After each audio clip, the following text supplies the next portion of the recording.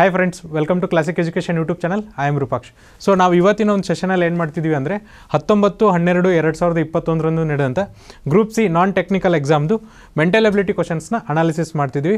So first question ಏನಿದೆ ನೋಡಿರಿ? ಇಪ್ಪತ್ತೈದು ವಿದ್ಯಾರ್ಥಿಗಳ ಸರಾಸರಿ ತೂಕ, ಹದಿನಾರು ಕೆ ಜಿ ಮೊದಲ ಹನ್ನೆರಡು ವಿದ್ಯಾರ್ಥಿಗಳ ಸರಾಸರಿ ತೂಕ, ಹದಿನಾಲ್ಕು ಕೆ ಜಿ ಮತ್ತು ಕೊನೆಯ ಹನ್ನೆರಡು ವಿದ್ಯಾರ್ಥಿಗಳ ಸರಾಸರಿ ತೂಕ ಹದಿನೇಳು ಕೆ ಜಿ ಹದಿಮೂರನೇ ವಿದ್ಯಾರ್ಥಿಯ ತೂಕವನ್ನು ಕಂಡುಹಿಡಿಯಿರಿ ಅಂತ ಹೇಳಿದ್ದಾರೆ. ಸೊ ಅದನ್ನೇ ಇಂಗ್ಲೀಷಲ್ಲಿ ಒಂದ್ಸರಿ ಓದ್ತೀನಿ ನೋಡ್ರಿ. The average weight of twenty five students in the twenty five students is sixteen K G the average weight of first twelve students is fourteen K G and that of last twelve students is seventeen K G find the weight of the thirteen student so ನೋಡ್ರಿ, ಇಪ್ಪತ್ತೈದು ವಿದ್ಯಾರ್ಥಿಗಳ ಸರಾಸರಿ ತೂಕ ಎಷ್ಟಿದೆಯಪ್ಪ? ಹದಿನಾರು K G ಇದೆ. ಹಾಗಾದರೆ ಒಟ್ಟು ತೂಕ ಏನಾಗುತ್ತೆ?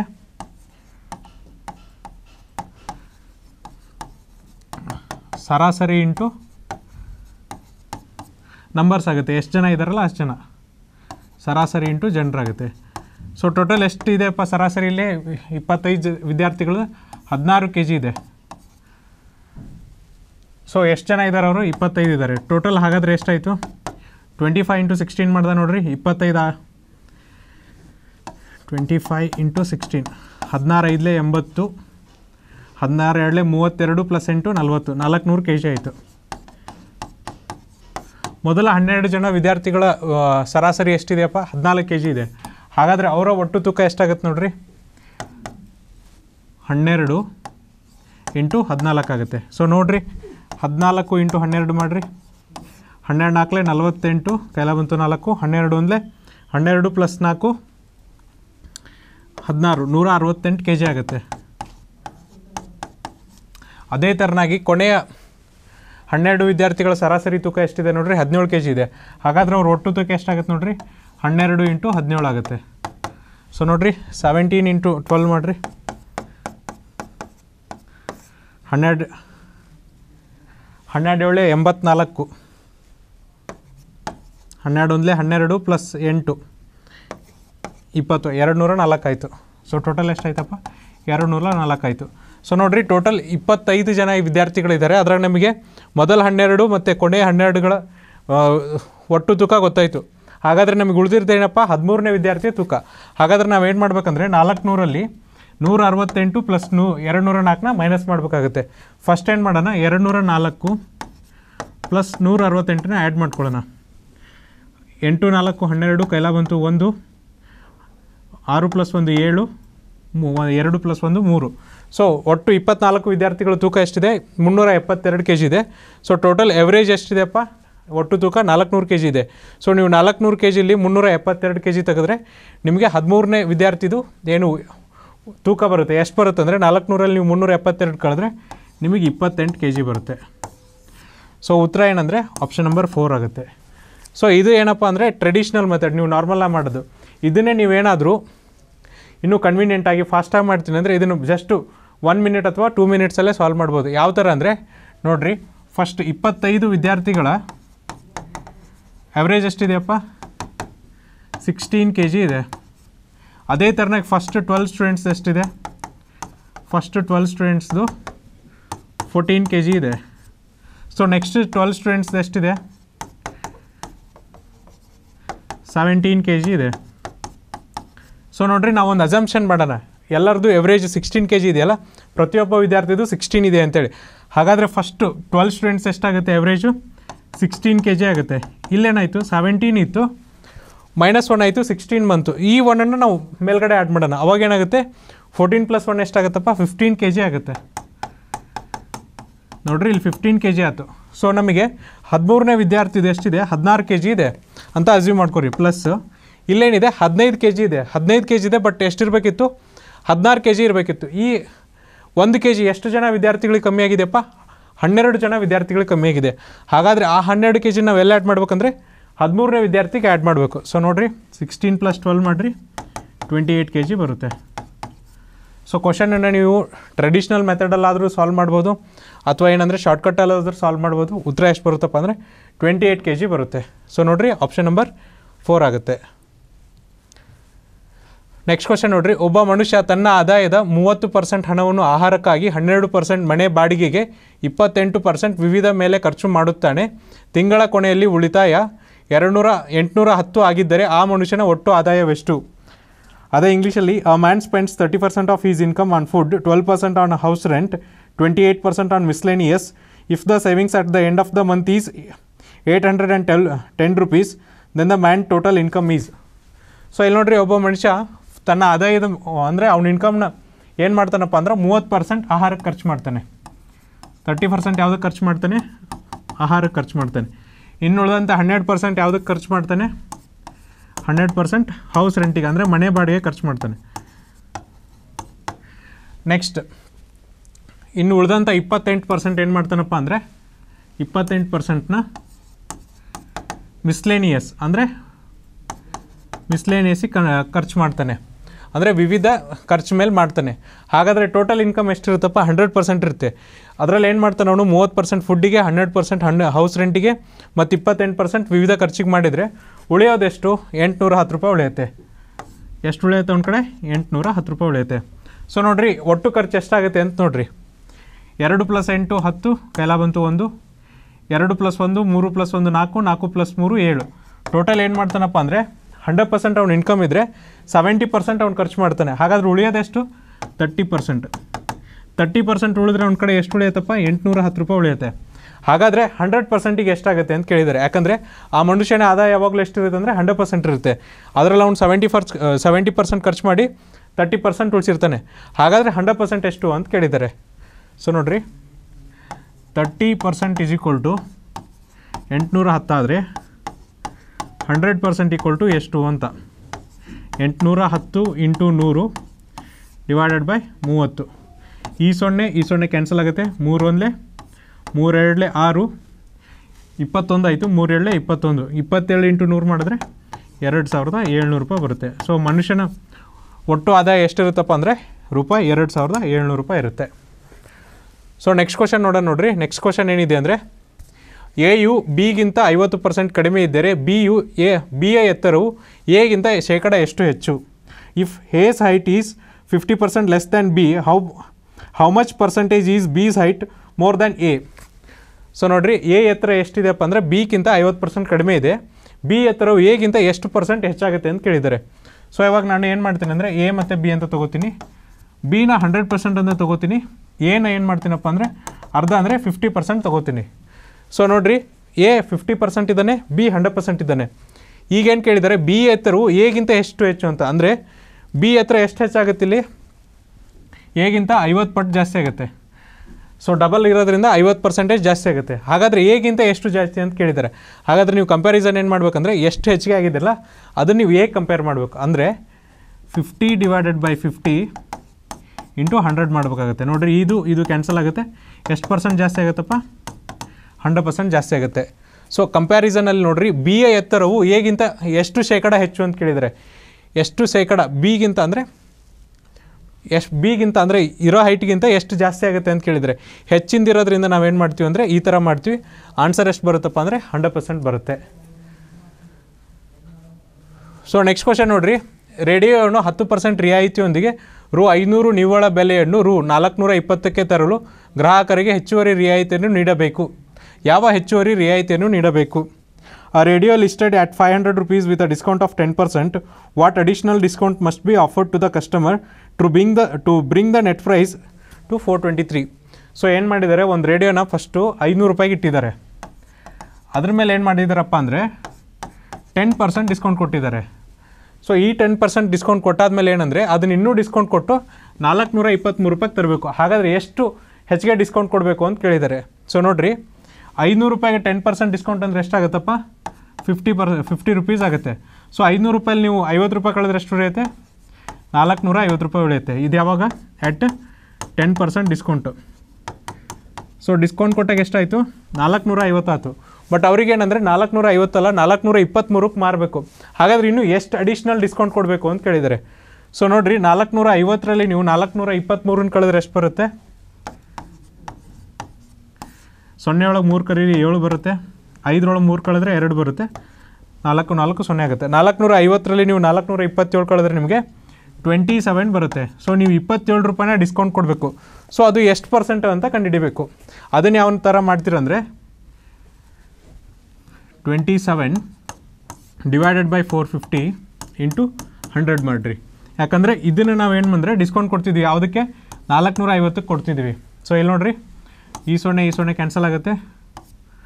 ಮೂರು ಹದಿನೈದಲೆ, ಮೂರು ಒಂಬತ್ತಲೆ ಮೂರು ಐದಲೆ, ಮೂರು ಮೂರಲೆ ಐದು ಒಂದಲೆ ಐದು ಎರಡಲೆ ಸೊ ಮೂರೆರಡಲೆ ಎಷ್ಟಪ್ಪ? ಆರು. ಎಷ್ಟು ಟೋಟಲ್ ಡಿಸ್ಕೌಂಟ್ ಕೊಡಬೇಕಪ್ಪ? ಅಡಿಷ್ನಲ್ ಅಂದರೆ ನಾವು ಸಿಕ್ಸ್ ಪರ್ಸೆಂಟ್ ಡಿಸ್ಕೌಂಟ್ ಕೊಡಬೇಕಾಗುತ್ತೆ. ಅವಾಗ ಮಾತ್ರ ಏನಂದರೆ, ನಾಲ್ಕುನೂರ ಐವತ್ತು ರೂಪಾಯಿ ಇದ್ದಿದ್ದು ನಾಲ್ಕುನೂರ ಇಪ್ಪತ್ತ್ಮೂರಕ್ಕೆ ನಮಗೆ ಮಾರಕ್ಕಾಗ್ತದೆ. ಸೊ ಇಲ್ಲಿ ಉತ್ತರ ಏನಾಗುತ್ತೆ ಅಂದರೆ option number two six percentage ಆಗುತ್ತೆ. ಸೊ ನೆಕ್ಸ್ಟ್ ಕ್ವಶನ್ ನೋಡಿರಿ. ಎಷ್ಟು ಕಿಲೋಗ್ರಾಮ್ ಅಕ್ಕಿ ಬೆಲೆ ರು ಪ್ರತಿ ಕೆ ಜಿಗೆ ಹದಿನೆಂಟು ರುಗೆ ತರ್ಟಿ ಕೆ ಜಿ ತೂಗುವ ಕೆ ಜಿಗೆ ರು ನ- ಹದಿನಾಲ್ಕು ಬೆಲೆಯ ಮತ್ತೊಂದು ವಿಧದ ಅಕ್ಕಿಯೊಂದಿಗೆ ಮಿಶ್ರಣ ಮಾಡಬೇಕು. ಆದ್ದರಿಂದ ಪರಿಣಾಮವಾಗಿ ಮಿಶ್ರಣ ಕೆ ಜಿಗೆ ಹದಿನೈದು ರೂಪಾಯಿ ಬೀಳಬೇಕು. How many kilograms of rice costing eighteen K G per eighteen rupees per K G must be mixed with thirty K G of rice costing fourteen K G fourteen rupees per K G so that the resultant mixture will cost fifteen rupees per K G so ಏನಂದರೆ ಇಲ್ಲೇನು ಮಾಡ್ತಾರಪ್ಪ ಅಂದರೆ ಹದಿನೆಂಟು ರೂಪಾಯಿ ಇರುವಂಥ K G ಅಕ್ಕಿನ ಮೂವತ್ತು K G ಇರುತ್ತೆ. ಹದಿನೆಂಟು ರೂಪಾಯಿ ಇರುವಂಥ ಕೆ ಜಿನ ಎಷ್ಟು ಕೆ ಜಿಗೆ ಅಂದರೆ ಮೂವತ್ತು ಕೆ ಜಿಗೆ ಮಿಕ್ಸ್ ಮಾಡಬೇಕು. ಅದ್ರ ಬೆಲೆ ಎಷ್ಟಿದೆಯಪ್ಪ ಅಂದರೆ ಹದಿನಾಲ್ಕು ರೂಪಾಯಿ ಇದೆ. ಸೊ ಅದು ನಾನು ನೀವೇನಂದರೆ ಹದಿನೈದು ರೂಪಾಯಿ ಮಾಡಿದಾಗ ನಿಮಗೆ ಕರೆಕ್ಟ್ ಅಮೌಂಟ್ ಬರಬೇಕಾಗತ್ತೆ. ಸೊ ನೋಡಿರಿ. ಹದಿನೆಂಟು ಕೆ ಜಿ ಇದ್ದಿದ್ದನ್ನ, ಹದಿನೆಂಟು ರೂಪಾಯಿ ಇದ್ದಿದ್ದನ್ನ ಎಷ್ಟು ಕೆ ಜಿ ಕೂಡಿಸ್ಬೇಕು ಅಂತ ಕೇಳಿದ್ದಾರೆ ಯಾವುದಕ್ಕೆ? ಮೂವತ್ತು ಕೆ ಜಿ ಅಕ್ಕಿ ಎಷ್ಟು ರೂಪಾಯಿಗಪ್ಪ ಹದಿನಾಲ್ಕು ಕೆ ಜಿಗೆ ಅದು ರಿಸಲ್ಟೆಂಟ್ ಎಷ್ಟು ಬರಬೇಕಂದ್ರೆ, ಹದಿನೈದು ರೂಪಾಯಿ ಪರ್ ಕೆ ಜಿ ಮಾರಿದಾಗ ನಿಮ್ಗೆ ಯಾವುದೇ ಥರನಾದಂಥ ಲಾಸ್ ಆಗಬಾರ್ದು ಅಂತ ಹೇಳಿದ್ದಾರೆ. ಸೊ ಅದಕ್ಕೆ ಏನು ಮಾಡೋಣ ಅಂದರೆ ಸೊ ನೋಡಿರಿ, ಹದಿನೆಂಟು ರೂಪಾಯಿ ಕೆ ಜಿ ಅಕ್ಕಿದೆ, ಮತ್ತು ಹದಿನಾಲ್ಕು ರೂಪಾಯಿ ಕೆ ಜಿ ಇದೆ. ಇವೆರಡೂ ಮಿಕ್ಸ್ ಮಾಡಿ ನಾವು ಏನು ಮಾಡ್ತಿದ್ವಿ ಅಂದರೆ, ಹದಿನೈದು ಕೆ ಜಿ ಮಾಡ್ತಿದ್ವಿ. ಸೊ ಇಲ್ಲಿ ಡಿಫ್ರೆನ್ಸ್ ನೋಡಿರಿ, ಹದಿನಾಲ್ಕು ಮತ್ತು ಹದಿನೈದರ ಮಧ್ಯೆ ಎಷ್ಟಿದೆ? ಒಂದಿದೆ. ಅದನ್ನು ನಾನು ಈ ಕಡೆ ಬರ್ಕೋತೀನಿ. ಹದಿನೆಂಟು ಮತ್ತು ಹದಿನೈದರ ಮಧ್ಯೆ ಎಷ್ಟಿದೆ? ಮೂರಿದೆ. ಸೊ ರೇಷೋ ಏನಾಗುತ್ತಪ್ಪ ಅಂದರೆ ಒನ್ ಇಷ್ಟು ತ್ರೀ ಆಗುತ್ತೆ. ಸೊ ನಾವು ಹದಿನಾಲ್ಕು ಕೆ ಜಿ ಅಕ್ಕಿನ ಕುಡಿಸ್ತಾ ನಮ್ಗೆ ಎಷ್ಟಾಗುತ್ತಪ್ಪ ಅಂದರೆ ರೇಷೋ ಎಷ್ಟು ಬರುತ್ತೆ? ಒನ್ ಇಷ್ಟು ತ್ರೀ ಬರುತ್ತೆ. ಸೊ ಹದಿನಾಲ್ಕು ಕೆ ಜಿ ಅಕ್ಕಿ ಎಷ್ಟಿದೆಯಪ್ಪ ನಮಗೆ ಇಲ್ಲಿ? ಮೂವತ್ತು ಕೆ ಜಿ ಇದೆ. So three equal to thirty ಆದರೆ ಒನ್ ಪರ್ಸೆಂಟ್ ಈಕ್ವಲ್ ಟು ಎಷ್ಟಾಗುತ್ತಪ್ಪ? ಟೆನ್ ಆಗುತ್ತೆ. ಸೊ ಉತ್ತರ ಏನಾಗುತ್ತೆ ಅಂದರೆ ಟೆನ್ ಆಗುತ್ತೆ. ಸೊ ಏನಂದರೆ ಈ ಥರ ಆದರೂ ಮಾಡಿರಿ ಅಥವಾ ನೀವು ಕ್ರಾಸ್ ವೆರಿಫಿಕೇಷನ್ನು ಕೊಡು ಮಾಡ್ಬೋದು ಆಪ್ಷನ್ ಥ್ರೂ ಈಗ ನೋಡಿರಿ ಏಯ್ಟೀನ್ ರುಪೀಸ್ ಇಂಟು ಟೆನ್ ಮಾಡಿದ್ರೆ ಎಷ್ಟು ಬರುತ್ತೆ ನಿಮಗೆ? ಒನ್ ಏಯ್ಟಿ ರುಪೀಸ್ ಬರುತ್ತೆ. ಸೊ ಅದೇ ಥರನಾಗಿ ಫೋರ್ಟೀನ್ ಇಂಟು ತ್ರೀ ತರ್ಟಿ ಮಾಡಿದ್ರೆ ಎಷ್ಟು ಬರುತ್ತಪ್ಪ? ಫೋರ್ ಟ್ವೆಂಟಿ ರುಪೀಸ್ ಬರುತ್ತೆ. ಟೋಟಲ್ ಎಷ್ಟಾಯಿತು? ಸಿಕ್ಸ್ ಹಂಡ್ರೆಡ್ ರುಪೀಸ್ ಕಾಸ್ಟ್ ಆಯಿತು. ಅದೇ ಥರನಾಗಿ ನೀವೇನಾದರೂ ಅದನ್ನ ಹದಿನೈದು ರೂಪಾಯಿಗೆ ಮಾರಬೇಕು. ಇಲ್ಲಿ ಕೆ ಜಿ ಎಷ್ಟಾಗುತ್ತೆ ನೋಡಿರಿ? ಟೆನ್ ಪ್ಲಸ್ ತರ್ಟಿ ಮಾಡಿದ್ರೆ ಫೋರ್ಟಿ ಕೆ ಜಿ ಆಗುತ್ತೆ. ಇಂಟು ಫಿಫ್ಟೀನ್ ಮಾಡಿದ್ರೆ ನಿಮ್ಗೆ ಎಷ್ಟು ಬರುತ್ತೆ? ಸಿಕ್ಸ್ ಹಂಡ್ರೆಡ್ ರುಪೀಸ್ ಬರುತ್ತೆ. ಸೊ ನಿಮಗೆ ಆನ್ಸರ್ ಏನಾದರೂ ಕನ್ಫ್ಯೂಷನ್ ಇದ್ದರೆ ನೀವು ಅಲ್ಲೇ ಕ್ರಾಸ್ ವೆರಿಫಿಕೇಷನ್ ಮಾಡ್ಬೋದು. ಅವಾಗ ನಿಮ್ಗೆ ಉತ್ತರ ಎಷ್ಟು ಬರುತ್ತಪ್ಪ ಅಂದರೆ ಸಿಕ್ಸ್ ಹಂಡ್ರೆಡ್ ಕೆ ಜಿ ಬರುತ್ತೆ. ಸೊ ಆಪ್ಷನ್ ನಂಬರ್ ಟೂ ಆಗುತ್ತೆ. ನೆಕ್ಸ್ಟ್ ಕ್ವಶನ್ ನೋಡಿರಿ. ಸೂಪರ್ ಮಾರ್ಕೆಟ್ನಲ್ಲಿರುವ ಉದ್ಯೋಗಿಗಳು ಮೂರು ಬಾ, ನಾಲ್ಕನೇ ಮೂರು ಭಾಗವು ಕಾಲೇಜು ಪದವೀಧರ ಅಲ್ಲದಿದ್ದರೆ ಪದವೀಧರದಲ್ಲದವರಿಗೆ ಪದವೀಧರರ ಅನುಪಾತ ಎಷ್ಟು ಅಂತ ಕೇಳಿದ್ದಾರೆ. So if three fourth of the employees in a supermarket are not college graduates what is the ratio of number of college graduate to those are graduate those are not graduate so ಇಲ್ಲಿ ಏನು ಮಾಡಬೇಕಂದ್ರೆ ಪದವೀಧರರು ಮತ್ತು ಪದವೀಧರ ಅಲ್ಲದವರಿಗೆ ಏನಂದರೆ ನೀವು ratio ಕಂಡುಹಿಡಿಬೇಕಾಗುತ್ತೆ. So ಇಲ್ಲಿ ನೋಡಿರಿ ಟೋಟಲ್ ಎಂಪ್ಲಾಯ್ ಎಂಪ್ಲಾಯೀಸ್ ಎಷ್ಟಂದರೆ ಎಕ್ಸ್ ಅಂತ ತೊಗೊಳ್ಳೋಣ. ಸೊ ಇವಾಗ ನಾನ್ ಗ್ರ್ಯಾಜುಯೇಟ್ಸ್ ಅಂದರೆ ಪದವೀಧರದಲ್ಲದವ್ರು ಎಷ್ಟಿದ್ದಾರಪ್ಪ ಅಂದರೆ ತ್ರೀ ಬೈ ಫೋರ್ ಎಕ್ಸ್ ಇದ್ದಾರೆ ಸೊ ಹಾಗಾದರೆ ಪದವೀಧರರು ಏನಾಗ್ತಾರೆ graduates x minus total employees minus three by four x ಆಗುತ್ತೆ. ಸೊ ನೋಡಿರಿ ಡಿನಾಮಿನೇಟರ್ ಸೇವ್ ಮಾಡಿರಿ, ಎಷ್ಟು ಬರುತ್ತೆ ನಿಮಗೆ? ಎಕ್ಸ್ ಬೈ ಫೋರ್ ಬರುತ್ತೆ. ಸೊ ಇಲ್ಲಿ ಪದವೀಧರರು ಎಷ್ಟಿದ್ದಾರೆ? ಎಕ್ಸ್ ಬೈ ಫೋರ್ ಇದ್ದಾರೆ. ಪದವೀಧರರು ಅಲ್ಲದವರು ತ್ರೀ ಬೈ ಫೋರ್ ಎಕ್ಸ್ ಇದ್ದಾರೆ. ಹಾಗಾದ್ರೆ ರೇಷೋ ಏನಾಗುತ್ತೆ ನೋಡಿರಿ? ಎಕ್ಸ್ ಬೈ ಫೋರ್ ಇಷ್ಟು three by three x by four ಆಗುತ್ತೆ. ಇದು ಯಾರಿಗಪ್ಪ ಅಂದರೆ ಗ್ರ್ಯಾಜುಯೇಟ್ ವರ್ಸಸ್ ನಾನ್ ಗ್ರ್ಯಾಜುಯೇಟ್ಸ್ ಆಗುತ್ತೆ. ಸೊ ನೋಡಿರಿ, ಇಲ್ಲಿ ಎಕ್ಸ್ ಎಕ್ಸ್ ಕ್ಯಾನ್ಸಲ್ ಆಗುತ್ತೆ. ಆಮೇಲೆ ಇಲ್ಲಿ ಫೋರ್ ಫೋರ್ ಕ್ಯಾನ್ಸಲ್ ಆಗುತ್ತೆ. ಏನು ಉಳಿಯುತ್ತಪ್ಪ ಅಂದರೆ ಒನ್ ಇಷ್ಟು ತ್ರೀ ಉಳಿಯುತ್ತೆ. ಸೊ ಉತ್ತರ ಏನಾಗುತ್ತೆ ಅಂದರೆ ಆಪ್ಷನ್ ನಂಬರ್ ತ್ರೀ ಒನ್ ಇಷ್ಟು ತ್ರೀ ಆಗುತ್ತೆ. ಸೊ ನಿಮಗೆ ಕನ್ನಡದಲ್ಲಿ ಕ್ವಶನ್ ಕನ್ಫ್ಯೂಸ್ ಆದರೆ ಇಂಗ್ಲೀಷಲ್ಲಿ ಓದ್ರಿ. ಕ್ಲಿಯರಾಗಿ ಕೊಟ್ಟಿದ್ದಾರೆ if three fourth of the employees in a supermarket are not graduates what is the ratio of number of college graduates to those who are not graduates so ಇಲ್ಲಿ ನೀವೇನು ಮಾಡಬೇಕಂದ್ರೆ ಗ್ರ್ಯಾಜುಯೇಟ್ಸ್ ಟು ನಾನ್ ಗ್ರ್ಯಾಜುಯೇಟ್ಸ್ ಮಾಡಬೇಕು. ಹಾಗಾಗಿ option ಏನಾಗುತ್ತೆ ಅಂದರೆ one ಇಷ್ಟು three ಆಗುತ್ತೆ. Not three ಇಷ್ಟು ಒನ್ ಆಗಲ್ಲ. ಸೊ ನೆಕ್ಸ್ಟ್ ಕ್ವಶನ್ ನೋಡ್ರಿ. ನೆಕ್ಸ್ಟ್ ಕ್ವಶನ್ ಏನಿದೆ ಅಂದರೆ, ನಾಲ್ಕು ವಿದ್ಯಾರ್ಥಿಗಳು ಕಾಲೇಜು ಚಿತ್ರಕ್ಕಾಗಿ ಫೋಟೋ ತೆಗೆಯಲು ಬೆಂಚ್ ಮೇಲೆ ಕುಳಿತಿದ್ದಾರೆ. ಸೋನಂ ರೀನಾಳ ಎಡಭಾಗದಲ್ಲಿದ್ದಾರೆ. ರೀನಾ ಅವರ ಬಲಕ್ಕೆ ಮಂಜು ಇದ್ದಾರೆ. ರೀಟಾ ಮತ್ತು, ರೀಟಾ, ರೀನಾ ಮತ್ತು ಮಂಜು ಅವರ ನಡುವೆ ಫೋಟೋದಲ್ಲಿ ಎಡದಿಂದ ಎಡ, ಎರಡನೆಯವರು ಯಾರು? ಸೊ ಅದೇ ಇಂಗ್ಲೀಷಲ್ಲಿ ಏನಿದೆ ಅಂದರೆ four students are sitting in on a bench to be photograph photographed for a college picture Sonam is the left of Reena Manju is the right of Reena Rita is between Reena and Manju who would be the second from the left in the photograph so ನೋಡಿರಿ, ನಾಲ್ಕು ಜನ ಇದ್ದಾರೆ ನಾನು ಏನು ಮಾಡ್ತೀನಪ್ಪ ಅಂದರೆ, ಈ ಪಾರ್ಟ್ನ right ಅಂತ consider ಮಾಡ್ತೀನಿ. ಈ ಕಡೆ ಬರೋರ್ನ, ಈ ಕಡೆ ಬರೋರ್ನ ಲೆಫ್ಟ್ ಅಂತ ಕನ್ಸಿಡರ್ ಮಾಡ್ತೀನಿ. ಸೊ ನೋಡಿರಿ ಫಸ್ಟ್ ಸ್ಟೇಟ್ಮೆಂಟ್ ಏನಿದೆ ಅಂದರೆ ಸೋನಮ್ ರೀನಾಳ ಎಡಭಾಗದಲ್ಲಿದ್ದಾಳೆ ಸೊ ನಾನೀಗ ರೀನಾನ್ ಇಲ್ಲಿ ತೊಗೊಂಡ್ರೆ ಸೋನಮ್ ಎಲ್ಲಿ ಬರ್ತಾಳೆ? ಲೆಫ್ಟ್ ರೀನಾಳ ಎಡಭಾಗದಲ್ಲಿದ್ದಾಳೆ ಸೊ ಅದೇ ಥರನಾಗಿ ನೆಕ್ಸ್ಟ್ ರೀನಾ ಅವರ ಬಲಕ್ಕೆ ಮಂಜು ಇದ್ದಾರೆ. ಸೊ ರೀನಾ ಅವರ ಬಲಕ್ಕೆ ಅಂದರೆ ರೈಟ್ ಈ ಕಡೆ ಇದೆ. ಯಾರಿದ್ದಾರೆ? ಮಂಜು ಇದ್ದಾರೆ. ನೆಕ್ಸ್ಟ್ ಏನು ಹೇಳಿದ್ದಾರೆ ಅಂದರೆ ರೀಟಾ, ರೀನಾ ಮತ್ತು ಮಂಜು ನಡುವೆ ಇದ್ದಾರೆ. ರೀಟಾ ಅವ್ರು ಏನು ಮಾಡ್ತಾರೆ ಅಂದರೆ ರೀನಾ ಮತ್ತು ಮಂಜು ಅವ್ರ ನಡುವೆ ಇದ್ದಾರೆ. ಹಾಗಾದ್ರೆ ರೀಟಾ ಇಲ್ಲಿ ಬರ್ತಾರೆ? ಇಲ್ಲಿ ಬರ್ತಾರೆ. ನೆಕ್ಸ್ಟ್ ಏನು ಕೇಳಿದ್ದಾರೆ ಅಂದರೆ ಫೋಟೋದಲ್ಲಿ ಎಡದಿಂದ ಎರಡನೇವರು ಇದು ಎಡದಿಂದ ಅಂದ್ಕೊಂಡ್ರೆ ಎರಡನೇವ್ರು ಯಾರು ಬರ್ತಾರೆ ಅಂತ ಕೇಳಿದ್ದಾರೆ. ಎರಡನೇವ್ರು ಯಾರು ಬರ್ತಾರೆ? ರೀನಾ ಅವ್ರು ಬರ್ತಾರೆ. ಹಾಗಾದ್ರೆ ಆಪ್ಷನ್ ಏನಾಗುತ್ತಪ್ಪ? ಆಪ್ಷನ್ ನಂಬರ್ ಫೋರ್ ಆಗುತ್ತೆ. ಸೊ ನೋಡಿರಿ, ನಿಮಗೆ ಈ ಥರ ಸಿಟ್ಟಿಂಗ್ ಅರೇಂಜ್ಮೆಂಟ್ ಕ್ವಶನ್ ಕೊಟ್ಟಾಗ ಫಸ್ಟು ನೀವು ಕ್ಲಿಯರಾಗಿ ಮೆನ್ಷನ್ ಮಾಡಿರಿ, ಯಾವುದು ಲೆಫ್ಟ್ ಸೈಡು ಯಾವುದು ರೈಟ್ ಸೈಡ್ ಅಂತ. ಸೊ ಅವಾಗ ನಿಮ್ಗೆ ಏನಾಗುತ್ತೆ? ನೀಟಾಗಿ ಗೊತ್ತಾಗುತ್ತೆ. ಆಮೇಲೆ ಒಂದೊಂದೇ ಆಪ್ಷನ್ನ ಬರೀತಾ ಹೋಗ್ರಿ. ನಿಮಗೆ ಈಸಿಯಾಗಿ ಆನ್ಸರ್ನ ಅನಾಲಿಸಿಸ್ ಮಾಡ್ಬೋದು. ಹಾಗಾಗಿ ಇಲ್ಲಿ ಉತ್ತರ ಏನು ಬರುತ್ತೆ ಅಂದರೆ ಆಪ್ಷನ್ ನಂಬರ್ ಫೋರ್ ರೀನಾ ಬರುತ್ತೆ. ನೆಕ್ಸ್ಟ್ ಕ್ವಶನ್ ನೋಡಿರಿ. ಒಬ್ಬ ಪುರುಷನನ್ನು ಪರಿಚಯಿಸುತ್ತಾ ಮಹಿಳೆಯೊಬ್ಬರು, ಅವನು ನನ್ನ ತಾಯಿಯ ತಾಯಿಗೆ ಒಬ್ಬನೇ ಮಗ ಎಂದಳು. ಮಹಿಳೆಯು ಪುರುಷನೊಂದಿಗೆ ಹೇಗೆ ಸಂಬಂಧ ಹೊಂದಿದ್ದಾಳೆ? Introducing a man a women said he is the only son of my mother's mother how woman is related to that man so ನೋಡ್ರಿ, ಇಲ್ಲಿ ಫಸ್ಟ್ ಏನು ಮಾಡೋಣ? ಈ ಕಡೆಯಿಂದ ಹೋಗೋಣ. ಅವನು ನನ್ನ ತಾಯಿಯ ತಾಯಿಗೆ ಒಬ್ಬನೇ ಮಗ. ಸೊ ನನ್ನ ತಾಯಿಯ ತಾಯಿ, ನನ್ನ ತಾಯಿಗೆ ತಾಯಿ ಅಂದರೆ ಯಾರಾಗ್ತಾರಪ್ಪ ಅಜ್ಜಿ. ಸೊ ಇಲ್ಲಿ ನೋಡ್ರಿ ಫಸ್ಟು ಮಹಿಳೆ. ಆಮೇಲೆ ಯಾರು ಬರ್ತಾರೆ? ಅವ್ರ ತಾಯಿ. ಆಮೇಲೆ ಯಾರು ಬರ್ತಾರೆ? ಅವ್ರ ತಾಯಿ. ನನ್ನ ತಾಯಿಯ ತಾಯಿಗೆ ಒಬ್ಬನೇ ಮಗ. ಅಂದರೆ ಇವ್ರ ತಾಯಿಯ ತಾಯಿಗೆ ಯಾರು ಬರ್ತಾರೆ? ಒಬ್ಬನೇ ಮಗ. ಅಂದರೆ ಇಲ್ಲಿ ಬರ್ತಾರೆ. ಹಾಗಾದರೆ ಮಹಿಳೆಯು ಪುರುಷನೊಂದಿಗೆ ಹೇಗೆ ಸಂಬಂಧ ಹೊಂದಿದ್ದಾಳೆ? ನೋಡ್ರಿ, ಮಹಿಳೆ ಪುರುಷನೊಂದಿಗೆ ಏನಾಗ್ತಾರೆ? ನಮ್ಮ ತಾಯಿಯ ತಾಯಿ ಒಬ್ಬನೇ ಮಗ ಅಂದರೆ ನನ್ನ ತಾಯಿಯ ಸಹೋದರ ಇರಬೇಕು. ನನ್ನ ತಾಯಿಯ ಸಹೋದರ ನಮಗೇನಾಗ್ತಾರೆ ಮಾವ ಆಗ್ತಾರೆ. ಹಾಗಾದರೆ ಪುರುಷನಿಗೆ ಮಹಿಳೆ ಏನಾಗ್ತಾಳೆ? ಸೊಸೆ ಆಗ್ತಾಳೆ. ಹಾಗಾದರೆ ಆಪ್ಷನ್ ಏನಾಗುತ್ತೆ? ಸಿ ಆಗುತ್ತೆ. ಸೊ ಇದೇ ಇಂಗ್ಲೀಷಲ್ಲಿ ಮಾಡೋದಾದರೆ he is the only son of my mother's mother so ಇಲ್ಲಿ ವುಮನ್ ಬರ್ತಾಳೆ. ನೆಕ್ಸ್ಟ್ ವುಮನ್ ಆದಮೇಲೆ ಅವ್ರ ಮದರ್ ಬರ್ತಾರೆ. ನೆಕ್ಸ್ಟ್ ಅವ್ರ ಮದರ್ ಅಥವಾ ಗ್ರ್ಯಾಂಡ್ ಮದರ್ ಬರ್ತಾರೆ. So grandmother's only son is his uncle so ಇಲ್ಲೇನು ಬರ್ತದಪ್ಪ ಅಂದರೆ son so what is the relation between the woman and the man is he is the uncle to the woman. In that case, the woman will be related to nice means ಸೊಸೆ option number C ಆಗುತ್ತೆ. Question ಏನಿದೆ ಅಂದರೆ ನೀವು ವಾಯುವ್ಯಕ್ಕೆ ಮುಖ ಮಾಡಿ ಮುಖ ಮುಖ ಮಾಡುತ್ತಿದ್ದೀರಿ ಎಂದು ಊಹಿಸಿಕೊಳ್ಳಿ. ನೀವು ಪ್ರದಕ್ಷಿಣಾಕಾರವಾಗಿ ನೈಂಟಿ ಡಿಗ್ರಿಯನ್ನು ತಿರುಗಿ ನಂತರ ಪ್ರದಕ್ಷಿಣಾಕಾರವಾಗಿ ಒನ್ ಏಯ್ಟಿ ಡಿಗ್ರಿಯನ್ನು ಮತ್ತೆ ಅದೇ ದಿಕ್ಕಿನಲ್ಲಿ ತೊಂಬತ್ತು ಡಿಗ್ರಿಯನ್ನು ತಿರುಗಿ ನೀವು ಈಗ ಯಾವ ದಿಕ್ಕನ್ನು ಎದುರಿಸುತ್ತಿದ್ದೀರಿ? Assume that you are facing north west you are ninety degree in a clockwise direction you turn ninety degree in the clockwise direction then one eighty degree in anticlockwise direction and then ninety degree in the same direction which direction are you facing now so ಇಲ್ಲಿ ನೋಡ್ರಿ, ನಾವೇನು ಮಾಡೋಣ? First ದಿಕ್ಕುಗಳನ್ನ ಹಾಕಿಬಿಡೋಣ. So ಇದು ಯಾವುದಪ್ಪ north ಉತ್ತರ. South ದಕ್ಷಿಣ. ಇದು East, ಪೂರ್ವ. ಇದು ವೆಸ್ಟ್, ಪಶ್ಚಿಮ. ನೆಕ್ಸ್ಟ್ ಇದು ಯಾವ್ದು ಬರುತ್ತಪ್ಪ?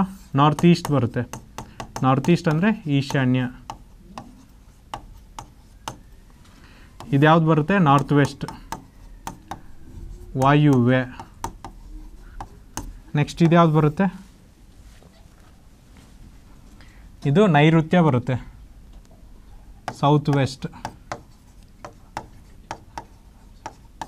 ನೆಕ್ಸ್ಟ್ ಇದು ಆಗ್ನೇಯ ಬರುತ್ತೆ. ಇದು ಸೌತ್ ಈಸ್ಟ್ ಆಗುತ್ತೆ. ಸೊ ನೋಡಿರಿ, ನಾವೇನು ಮಾಡ್ತಿದ್ವಿ? ವಾಯುವ್ಯ ದಿಕ್ಕಿಗೆ ಮುಖ ಮಾಡಿದ್ವಿ. ನೈಂಟಿ ಡಿಗ್ರಿನ ಕ್ಲಾಕ್ ವೈಸ್ ಡೈರೆಕ್ಷನಲ್ಲಿ ಮೂವ್ ಮಾಡ್ತಿದ್ವಿ. ಕ್ಲಾಕ್ ವೈಸ್ ಅಂದರೆ ಗಡಿಯಾರ ಈ ಥರ ತಿರುಗುತ್ತೆ. ಸೊ ಇಲ್ಲಿಂದ ಇಲ್ಲಿಗೆ ಫೋರ್ಟಿ ಫೈವ್ ಡಿಗ್ರಿ ಇರುತ್ತೆ. ಇಲ್ಲಿಂದ ಇಲ್ಲಿಗೆ ಫೋರ್ಟಿ ಫೈವ್ ಡಿಗ್ರಿ ಇರುತ್ತೆ. ಸೊ ನೋಡಿರಿ, ತೊಂಬತ್ತು ಡಿಗ್ರಿನ ಕಮಿಸಿ ನಾವು ಎಲ್ಲಿಗೆ ಬಂದ್ವಿ? ನಾರ್ತ್ ವೆಸ್ಟ್ ಅಂದರೆ ಈಶಾನ್ಯ ದಿಕ್ಕಿಗೆ ಬಂದ್ವಿ. ಮತ್ತೇನು ಮಾಡ್ತೀವಿ? ಒನ್ ಏಯ್ಟಿ ಡಿಗ್ರಿನ ಆ್ಯಂಟಿ ಕ್ಲಾಕ್ ವೈಸ್ ಡೈರೆಕ್ಷನಲ್ಲಿ ಬರ್ತೀವಿ. ಆ್ಯಂಟಿ ಕ್ಲಾಕ್ ವೈಸ್ ಅಂದರೆ ಈ ಥರ ಉಲ್ಟಾ ಬರ್ತೀವಿ. ಸೊ ನೋಡಿರಿ ಆ್ಯಂಟಿ ಕ್ಲಾಕ್ ವೈಸಲ್ಲಿ ಏನಾಗುತ್ತೆ ನಾರ್ತ್ ಈಸ್ಟಿಂದ ಫಸ್ಟ್ ನಾವು ನೈಂಟಿ ಡಿಗ್ರಿಯಲ್ಲಿ ಬರ್ತೀವಿ? ನಾರ್ತ್ ವೆಸ್ಟ್ ವಾಯುವ್ಯ ದಿಕ್ಕಿಗೆ ಬರ್ತೀವಿ. ಇನ್ನು ತೊಂಬತ್ತು ಡಿಗ್ರಿ ಮಾಡಿದ ನಾವು ಎಲ್ಲಿಗೆ ಬರ್ತೀವಪ್ಪ ಅಂದರೆ ನೈಋತ್ಯಕ್ಕೆ ಬರ್ತೀವಿ. ಇಲ್ಲಿಂದ ಇಲ್ಲಿಗೆ ನಲ್ವತ್ತೈದು, ಮತ್ತೆ ನಲ್ವತ್ತೈದು ಕುಡ್ಸಿದ್ರೆ ತೊಂಬತ್ತಾಯಿತು ನೈಋತ್ಯ ದಿಕ್ಕಿಗೆ ಬರ್ತೀವಿ. ಮತ್ತೆ ಏನಾಗುತ್ತೆ? ತೊಂಬತ್ತು ಡಿಗ್ರಿ ಇದೇ ಡೈರೆಕ್ಷನಲ್ಲಿ ಹೋಗ್ತೀವಿ.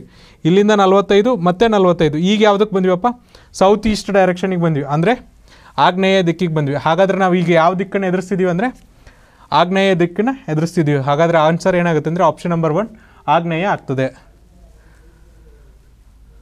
ಸೊ ನೋಡ್ರಿ, ಈ ಥರ ಕ್ವಶನ್ಸ್ ಬಂದಾಗ ನೀವೇನಂದ್ರಿ ಫಸ್ಟ್ ಡೈರೆಕ್ಷನ್ಸ್ ಹಾಕೋರಿ. ಡೈರೆಕ್ಷನ್ ಹಾಕೊಂಡು ನೀಟಾಗಿ ನೀವು ಮಾಡಿದ್ರೆ ಆನ್ಸರ್ ಈಸಿಯಾಗಿ ಬರುತ್ತೆ. ಗಡಿಯಾರದ ಸಮಯವು ಹನ್ನೆರಡು ಪಾಯಿಂಟ್ ತರ್ಟಿ ಫೈವ್ ಆಗಿರುತ್ತದೆ. ಆಗ ಆಗ ಅದರ ಕನ್ನಡಿ ಚಿತ್ರವು ಏನಾಗಿರುತ್ತದೆ? The time in the clock is twelve thirty five then its mirror image will be so ನೋಡಿರಿ, ನಾನೇನು ಮಾಡ್ತೀನಿ? ಗಡಿಯಾರ ಅಂತ ಇದು ಹನ್ನೆರಡು, ಇದು ಮೂರು, ಆರು, ಒಂಬತ್ತು. ಸೊ ಇಲ್ಲಿ thirty five so twelve thirty five ಅಂದರೆ ಆಲ್ಮೋಸ್ಟ್ ಇಲ್ಲಿಂದ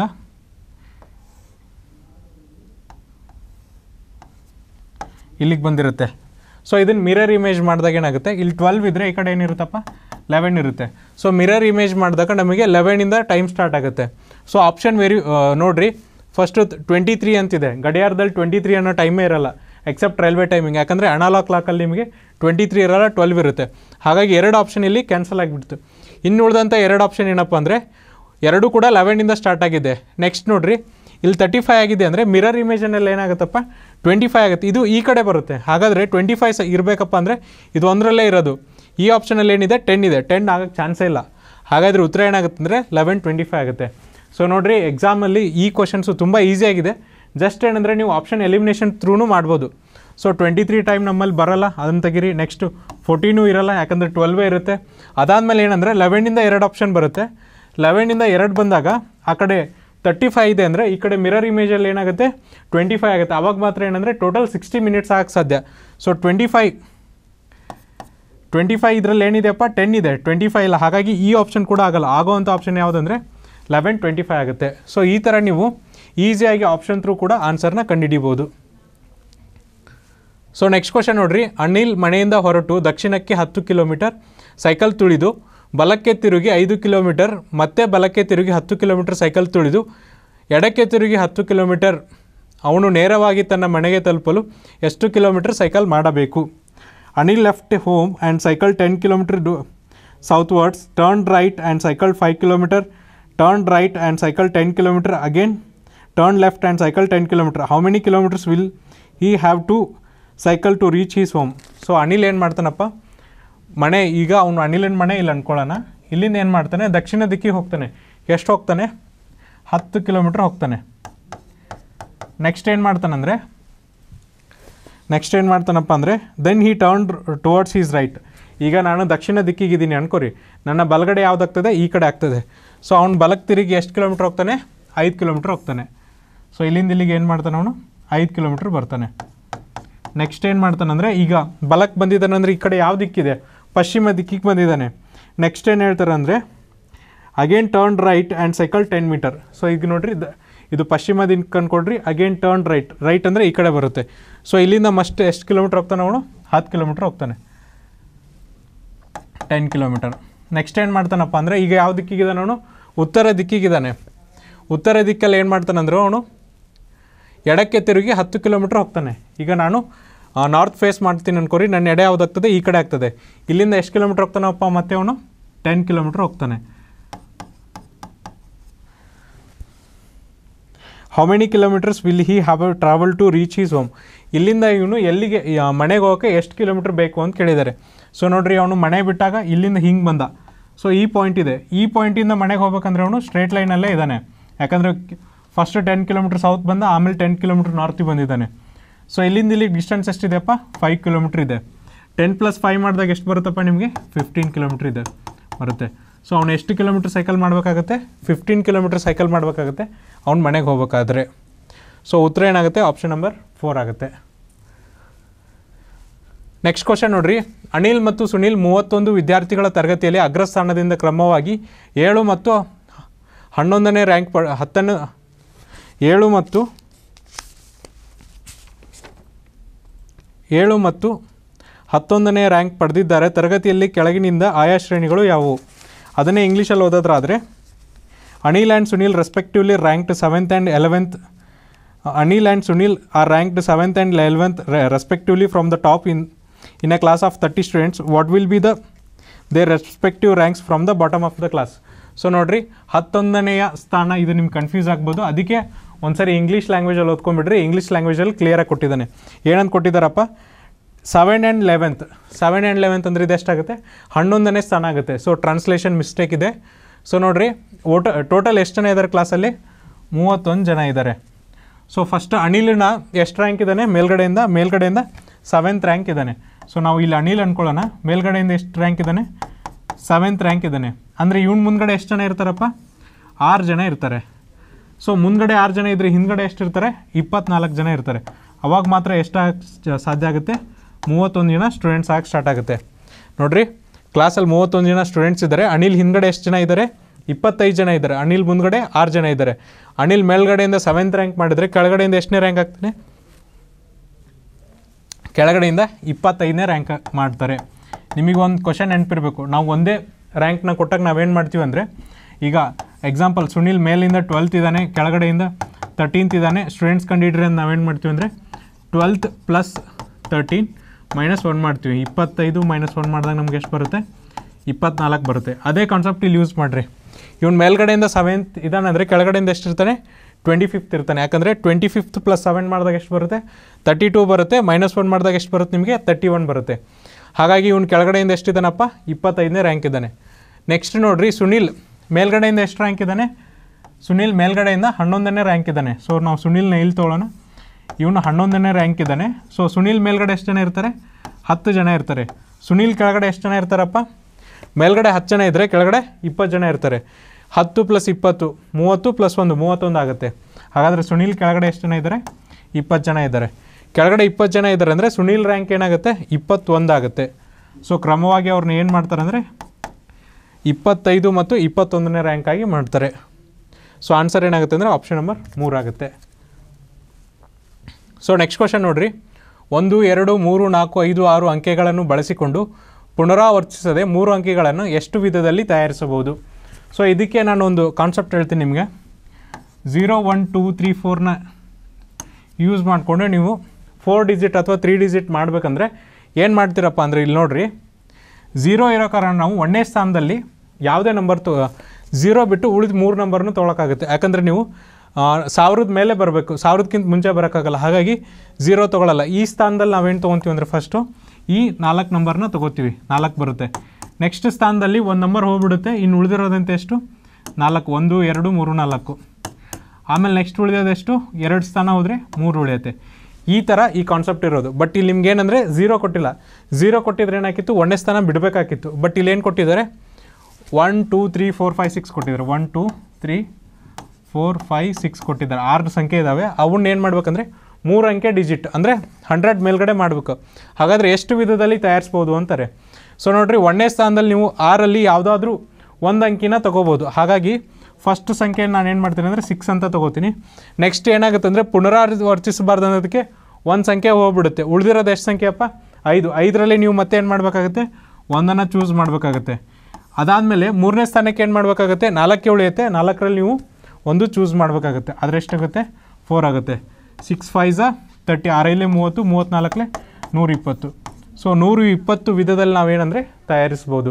ಸೊ ಇನ್ ಕೇಸ್ ನಿಮ್ಗೆ ಇಲ್ಲಿ ಝೀರೋ ಕೊಟ್ಟಿದ್ರೆ ಅವಾಗ ನೀವೇನಂದರೆ you need to be very careful ಯಾಕಂದರೆ ಝೀರೋ ಇದ್ದಾಗ ನಾವು ಮೊದಲನೇ ಸ್ಥಾನದಲ್ಲಿ ಝೀರೋ ತೊಗೊಳಕ್ಕಾಗಲ್ಲ.